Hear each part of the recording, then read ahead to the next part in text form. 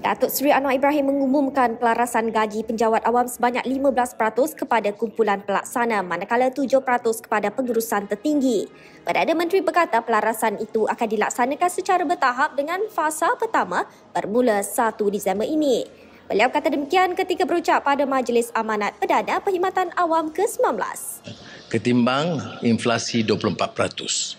Maka sebab itulah bagi penjawat awam amat menekan terutama grade 26 dan ke bawah.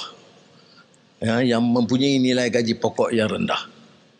Dari skim ini saya percaya saudara sedang menunggu dan kali terakhir pelarasan gaji tahun 2012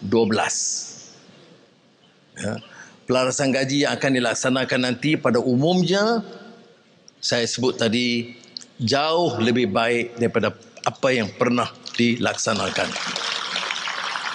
Lantaran itu, kerajaan komited memastikan pembelaan nasib penjawat awam maka adalah diumumkan pelarasan gaji penjawat awam seperti berikut.